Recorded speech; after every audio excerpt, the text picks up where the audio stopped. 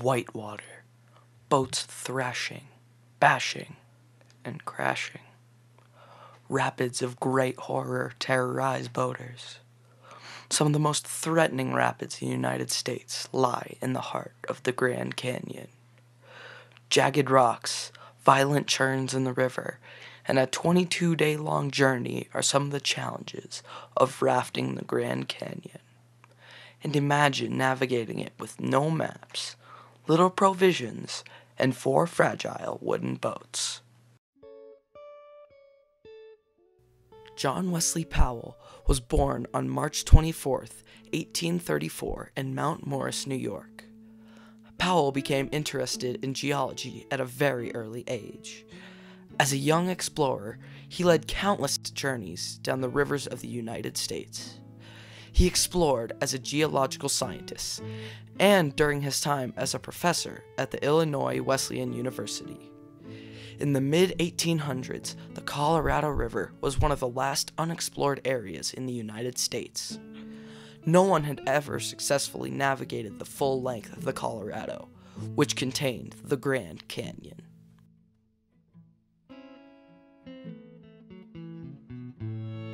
The Grand Canyon is a 277 mile long stretch of river with treacherous rapids, jagged rocks, and countless other dangers.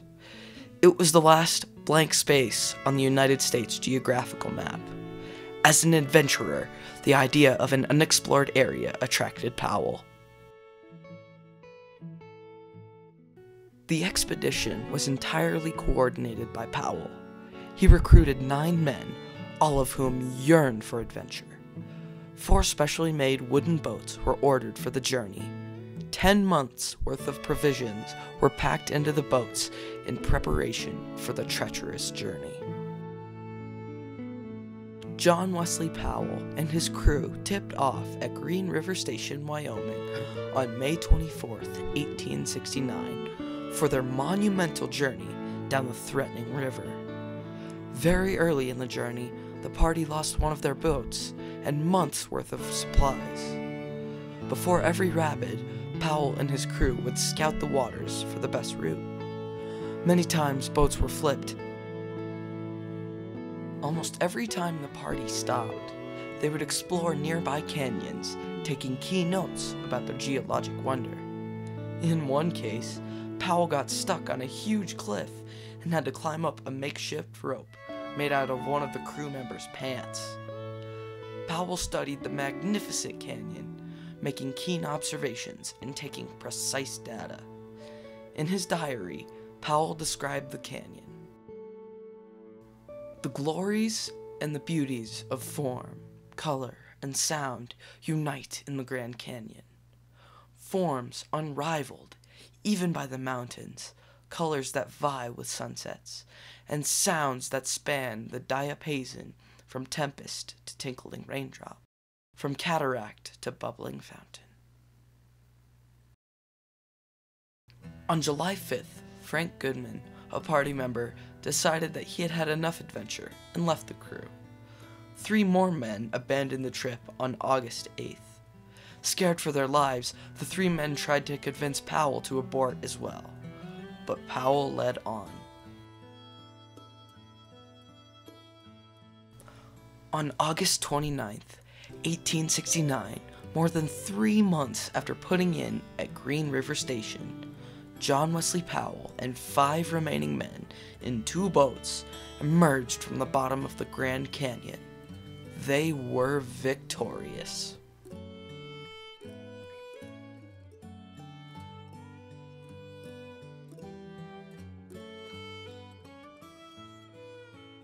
The legacy of John Wesley Powell lives on.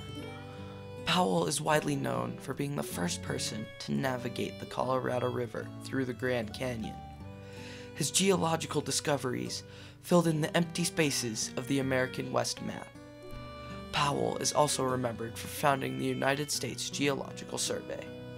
The survey still functions today and is involved with issues like fracking, river water control, and climate change hazards. Powell has left the legacy of a fantastic explorer, scientist, geological enthusiast, and leader.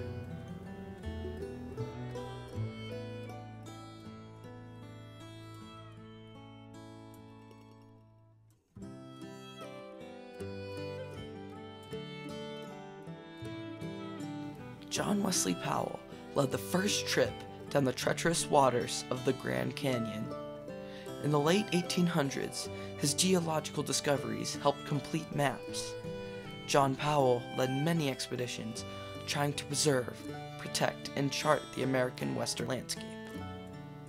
Through the process of conducting irrigation, topographic, and hydrographic surveys, Powell was determined to make the American West a better place. John Wesley Powell had the leadership skills of an outstanding explorer, scientist, and adventurer. His eagerness for knowledge and adventure brought the first group of ships down the Grand Canyon and left a legacy of respect for wild rivers and the quest for knowledge and information of geologic wonders. John Wesley Powell made his dangerous journey with 10 men, four fragile boats, minimal provisions, and no means of navigation.